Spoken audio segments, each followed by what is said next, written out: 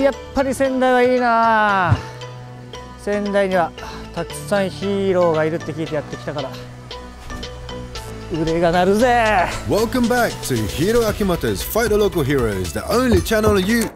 Wait, who are you? Whoa, whoa, whoa, well, this one's about Sendai, right? If there's anyone who's going to introduce Sendai on YouTube, it's going to be me. Go on, mate, take a day off. You sure? Right, I'm off.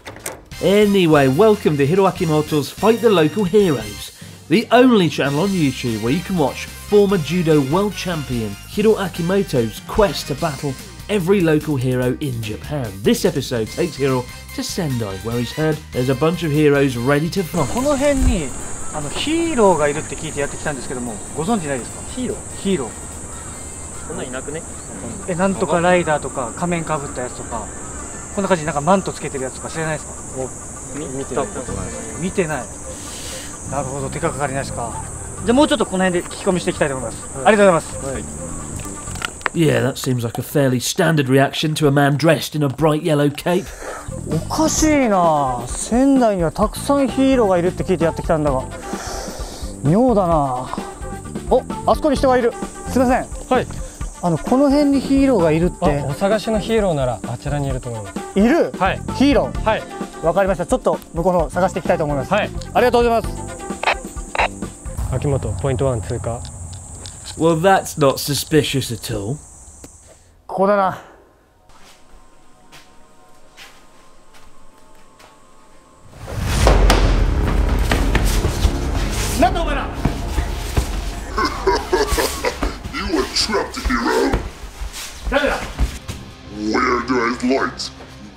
always darkness. Guys, get him. Uh oh. The gloves are off. Let's see what Hiro-san can do with those world champion judo skills.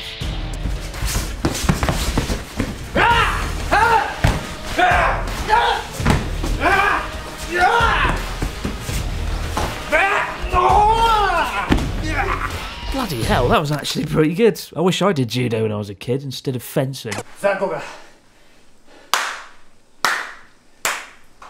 残酷が Not bad Oh my god. I, I, I this is the first time I've seen this and I'm not being paid enough to watch this. What's going on? お前が仙台のヒーローか Indeed, I've sealed away all the heroes in Sendai in here. And if you want to bring them back, you will have to defeat me. お前一体何者なんだ I think I would genuinely rather pour bleach in my eyes than look at Ryotaro dressed like this ever again. Hero, let's play some games. Just follow me. Come on!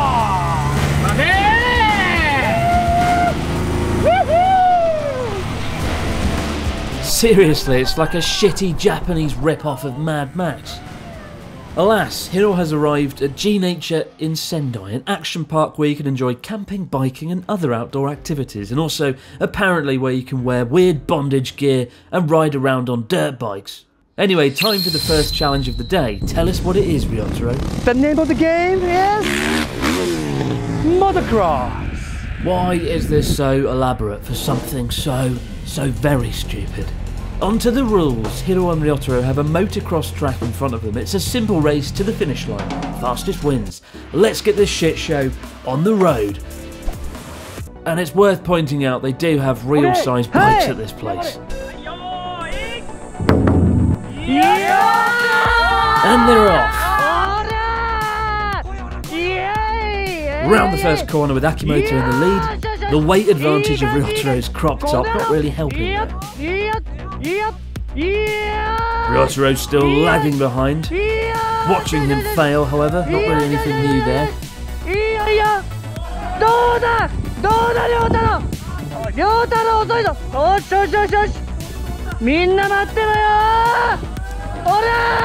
Hold on a minute, what was that? Cheating, cheating of course.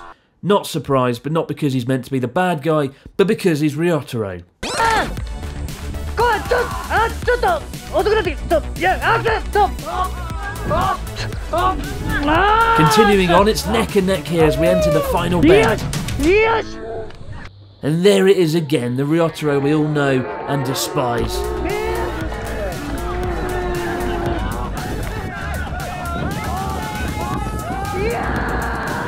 But Akimoto makes it over the finish line. Can't even win when he cheats, not once but twice. Also, where did all these people come from? Sing your cat! Why does it always end in violence with Rotary? Psycho Man. Ah. Moving on to round two, tell us what it is, Risotto. Ha! Next name of the game, Lumberjack Contest. There's a Monty Python reference here, I can feel it. Each of our competitors has the same size cut of bamboo. They need to saw it into three slices, line it up on the chopping block and cut it cleanly in half. No using your hands to steady the bamboo, and no killing your opponent with an axe along the way either.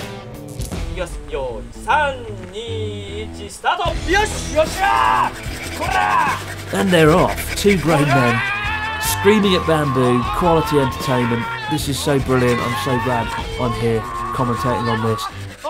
Akimoto with the first cut, Ryotaro not far behind.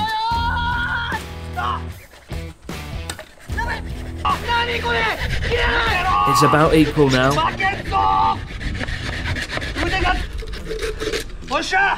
It's almost a tie. And here we are, time for the chopping. That was shit, and I'm not surprised. Akimoto with the clean cuts, though, that's vaguely impressive. Ryotaro doesn't make a clear cut. Is he going to give it a go again? No, he's just going to cheat. Of course he would.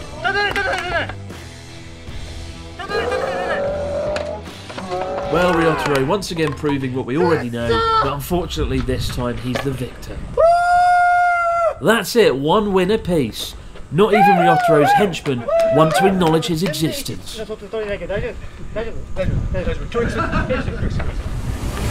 Next up, our two competitors head to the Atom Circuit. Sounds very cool. Just outside of Sendai for some go karting. This one is a time trial and not a race. They have three laps each, and whoever gets the fastest lap out of all three tries wins.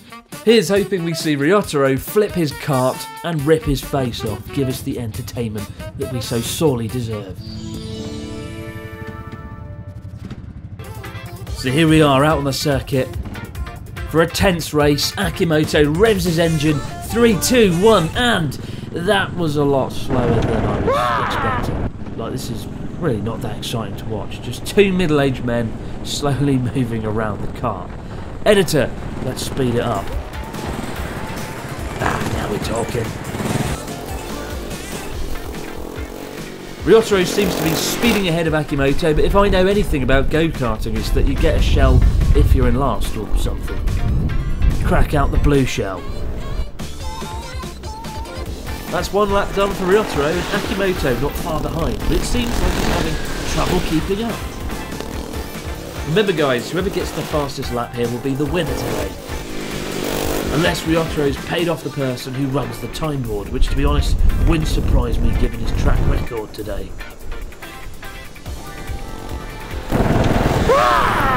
Shut up!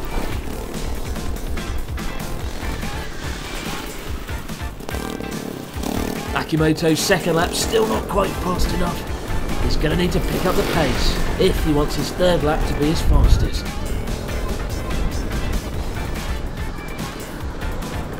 Two laps apiece for the gents, and Akimoto has decided the best way to win is by missing the finish post.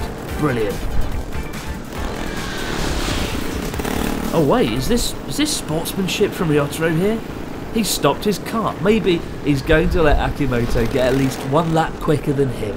No, no, he wasn't. He was just being a prick to rub it in.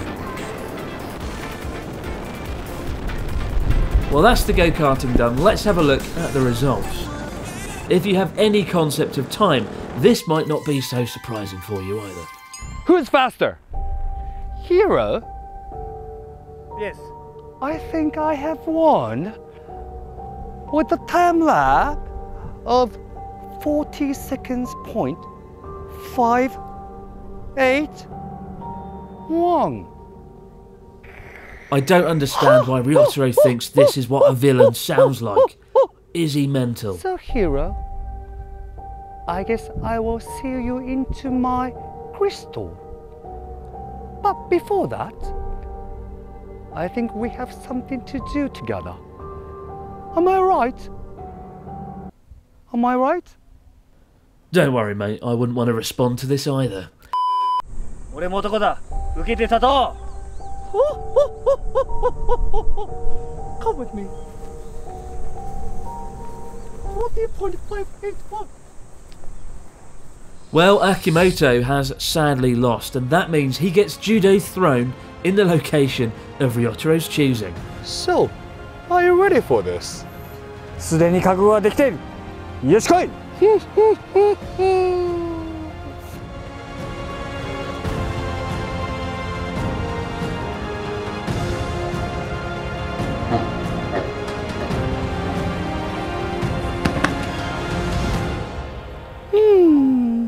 Hiro-san.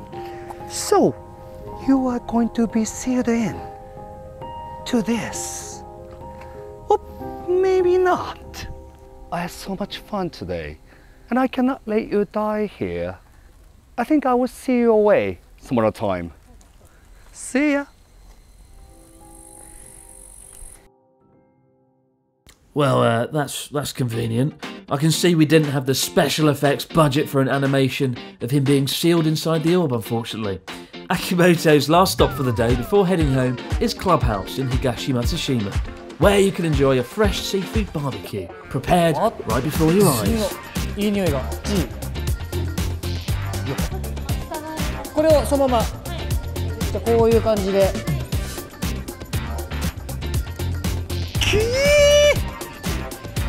いただきます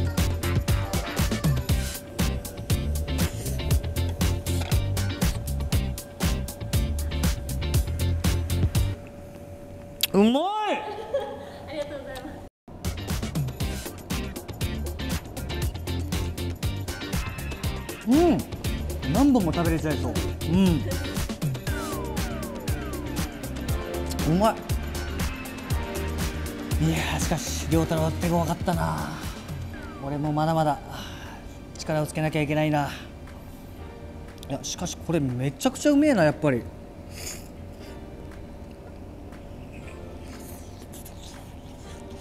うまっ。Well, guys, that's it for today's episode. If you want to visit any of the locations we saw in today's nightmare, check out the description box below. Also, if you want to see more from Hiro, check him out teaching Ryotaro Judo over on Ryotaro's Japan. Or if you like actual good YouTube channels, like my one abroad in Japan, you can find it all linked in the description box below. I've been Chris Broad, and I'll never look at Ryotaro the same way again. In fact, I'm never going to look at Ryotaro again. Full fucking stop.